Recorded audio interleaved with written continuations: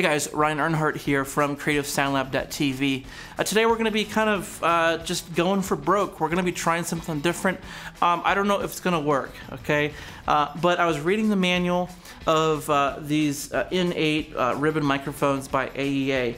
And you know, there's a lot of good, cool information in manuals. It's a, actually a really cool way to get fresh ideas. Um, and in this manual, it talked about ORTF for ribbons, and I'm like, what? I've never thought of that, never tried it. So today we're going to be trying it. Um, I know usually ORTF is with a pair of cardioid microphones spaced 17 centimeters apart at 110 degrees. To my ears, uh, I really do like ORTF a lot. I use it quite a bit. Um, it's kind of like the dependency and the ease of setting up an XY pair, but it just sounds a lot cooler and a lot interesting. So I've never tried it with a pair of figure eight ribbons, so we're gonna give it a shot today, see how it sounds over a drum set and as a pair of room mics. Let's get started.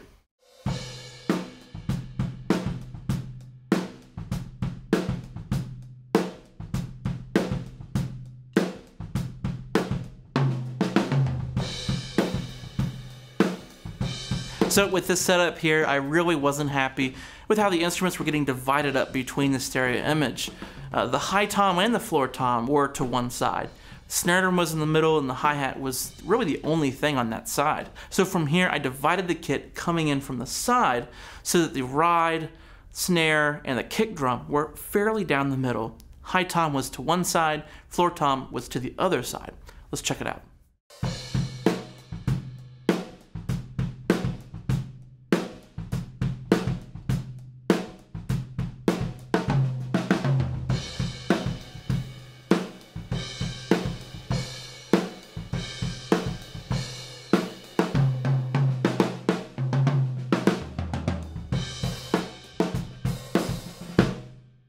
Okay, so I like that a little bit more, you know, a little bit better balance and panning of the instruments. And, you know, close mics can be brought in from here and panned accordingly to match this image, so I like this a bit better. The other thing that I tried is actually lowering the pair of microphones and then angling it to keep the snare in the center. Uh, by lowering the microphones, I was trying to get a better proximity balance of things like the floor tom, the ride, compared to that high crash cymbal, which was really the loudest thing of the kit, just because it was the closest thing to those mics. So by moving the mics down low and then readjusting the angle of how the mics are tilted, kept that snare in the center. Let's check it out.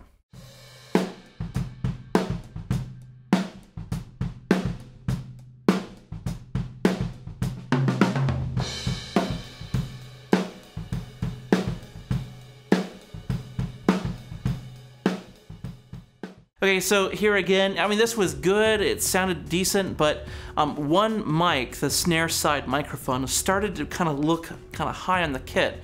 We're almost looking over the top of the kit, and it's not even looking at the snare drum anymore. So uh, it started to sound kind of like a soft attack for that snare drum. The floor tom side mic, that had a better attack on that snare drum. I just wasn't happy with the sound of the drums, especially that snare using that setup.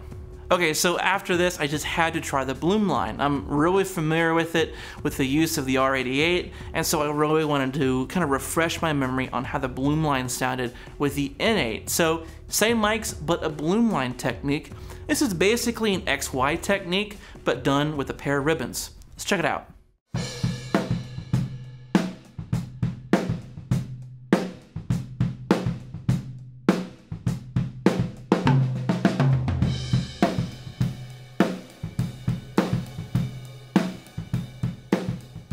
Okay, so I like that better if I'm looking to fill in kind of the middle of the picture with kick and snare. I found that the, the Blumlein definitely sounded a little bit fuller um, right down the middle like that, and I liked that. But what it also told me about the ORTF is that this configuration with a pair of ribbons might actually be perfect as a pair of room mics. So that's what I had to try next. So let's check this out. ORTF done with ribbons as a pair of room mics.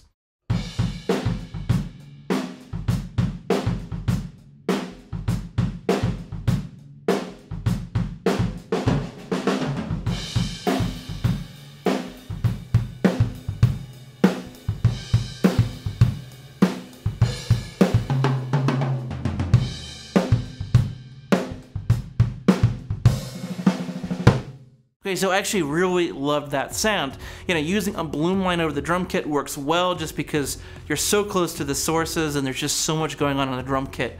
Uh, but when you are back away from a source, maybe for a choir, an orchestra, um, a group vocal track, um, you know, something like that, I think would work a lot better for the ORTF with a pair of ribbons. And what I found is that this technique out in the room actually helped to kind of preserve the middle of the kit for the close mics and the pair of overheads. And then the ORTF in the room kind of scooted around the sides. So it didn't actually muddy up the middle too much, and it actually had a nice wide stereo image for the room tracks.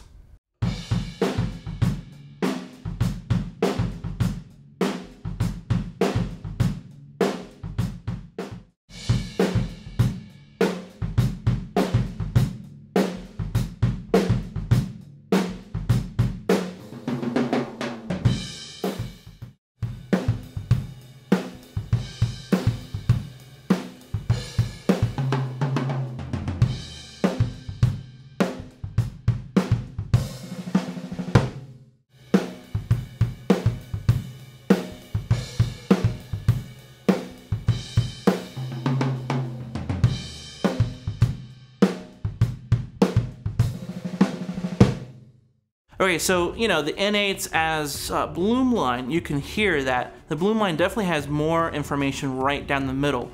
Uh, but splitting up the mics, panning them out just a little bit more than 90 degrees, so 110 degrees instead of 90 in the Blumlein, now we have a little bit more information that's kind of pushed out to the sides, and you're actually able to kind of clear out some room in the middle. So it really depends on how you use this. Uh, it could be good or bad, uh, but if you're looking to create some room in the middle of a mix and have kind of stuff out to the sides fairly wide, well, this could be a really cool way to build that in to a set of stereo tracks. Okay, so, you know, this was not following the rules by any means. Uh, so let me know what you thought in the comments below. Um, I was just really experimenting with this one. I know RTF is traditionally known with the pair of cardioids, 17 centimeters and 110 degrees apart. So um, that's how it's usually done, okay? Uh, this was definitely a experiment today. It's a sound lab, so that's what we do. We try stuff, we listen, and we say, hey, how can we musically uh, use this as a tool to make better recordings and better mixes? So I'll be talking to you in the comments below.